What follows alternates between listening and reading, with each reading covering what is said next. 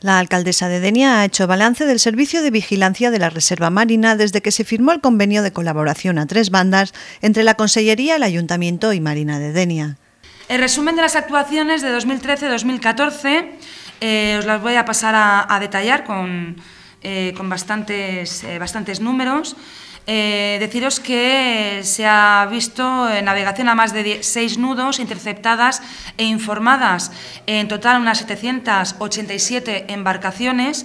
Como sabéis, en la reserva no se puede navegar a más de seis nudos, ¿de acuerdo? Los fondeos levantados han ascendido a un total de 245. Motos acuáticas interceptadas navegando a más de seis nudos eh, se han interceptado 171, de las cuales 23 era en zona de bañistas. En buceo en todo el ámbito, en la Reserva Marina sabéis que hacen falta eh, autorizaciones y la natural marina no hace falta. El buceo en total ha sido 2.722, con 73 abordajes para solicitar autorizaciones que se han controlado en horario de servicio. En pesca deportiva, en la zona de la reserva natural, 182 y 10 en la de interés pesquero. En pesca con fusil y marisqueo, un total de 95 en la zona de reserva natural y 23 en zona prohibida.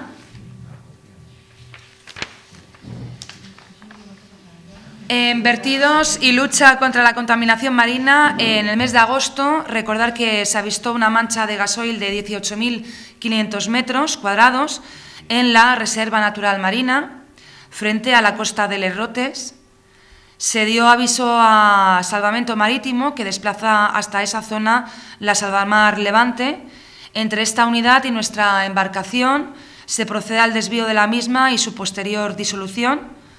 Además, eh, se atendieron también 11, avisos por, posibles eh, vertidos.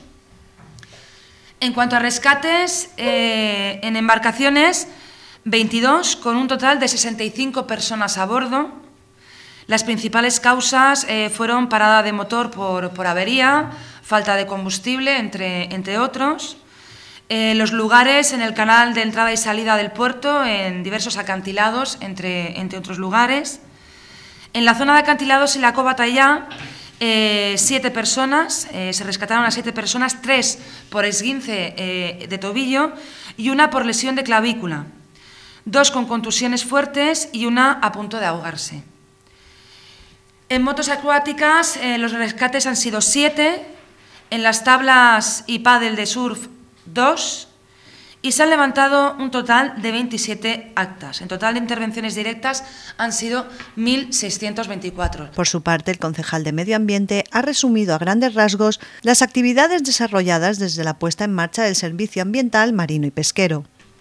Hemos registrado un total de 57 avistamientos de cetáceos de diferentes especies, desfimular, delfín listado, calderón, roca común, que poco a poco va aumentando su presencia en la reserva. En el tema de la nidificación del comorán moñudo, estas dos últimas temporadas se han contabilizado 35 nidos con éxito de reproducción. Otras especies que es frecuente ver en la zona son las alcas, roquerets, charranes, gaviota, común, eh, gaviota común, la duquín, la pardela balear, la pardela cenicienta, etc., destacando la presencia del águila pescadora durante todo el año. Además, aumentan las citas de especies que permanecen en la zona todo el año, alcores peregrinos, garzas reales, cormonado moñut, etcétera, etcétera. A través de este servicio se han realizado también diferentes reportajes de televisión, como en Canal Plus, otros medios de prensa escrita nacionales e internacionales, para divulgar los valores medioambientales y socioeconómicos de este espacio marino protegido, así como de la costa norte de nuestra ciudad. En el tema cultural, estamos haciendo la educación ambiental marina, divulgando nuestro patrimonio natural marino con charlas dirigidas a los ciudadanos a través de diferentes campañas que muestran el potencial medioambiental y marino de nuestra zona. A todo esto cabe sumar las nuevas propuestas de turismo ambiental que desde el consistorio dianense se preparan de cara a la campaña de verano.